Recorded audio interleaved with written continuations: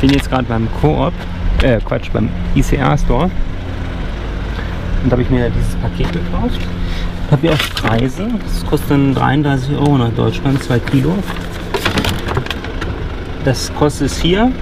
Ähm, das Paket habe ich mir nur geholt. Na, da sagte mir der, wenn ich es mit Schenker versende, dann sei es günstiger. Und das sei bei Coop. Und das ist wohl ein Kilometer in die Richtung.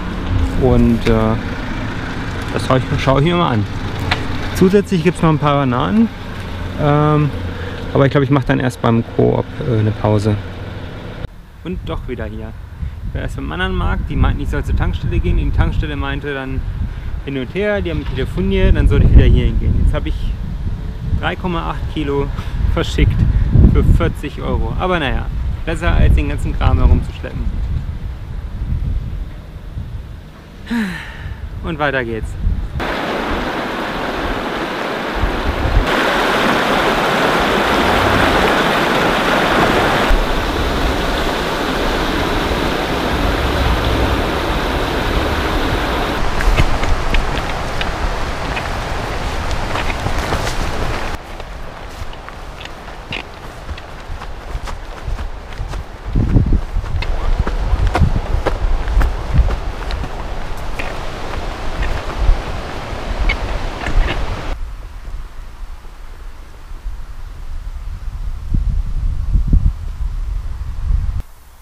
Ja, ich bin jetzt bei der stillen Kapelle angekommen. Und heute habe ich irgendwie überhaupt gar keinen, keinen Bock so. Irgendwie alles kacke, ist ständig Regen und wieder Sonne und Regen und Sonne und Wind. Es kotzt einen richtig an, wenn man die Kleidung wechseln muss. Alles ist nass, dann wieder trocken, dann ist es wieder warm, dann muss man wieder ausziehen. Irgendwie ist ja nichts los, keine schöne Stadt. So trist und öd. Aber ich denke mal, das wird hoffentlich besser. Bis zur nächsten Stadt habe ich gerade gesehen, es gibt gar keine Einkaufs Einkaufsmöglichkeiten mehr. Es sind äh, 43 Kilometer von hier aus. Das heißt, äh, ja, viel gehen.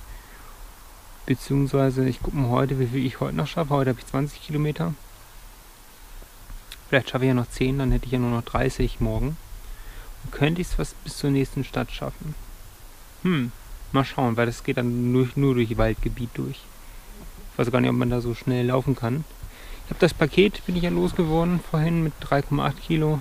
Es geht wesentlich besser, ich kann wesentlich einfacher laufen. Das ist auf jeden Fall besser. Wo bin ich? Auf einem Campingplatz. Habe ich mich doch zu entschlossen, weil das Wetter die nächsten zwei Tage richtig kacke sein soll.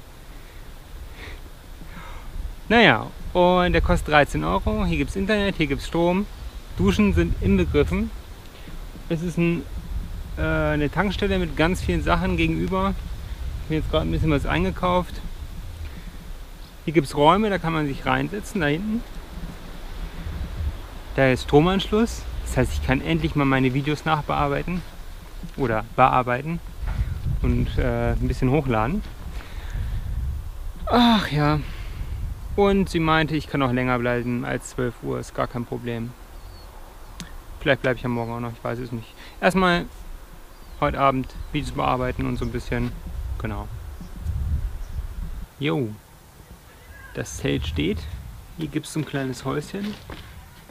Den ganzen Tag die Sonne drauf scheint.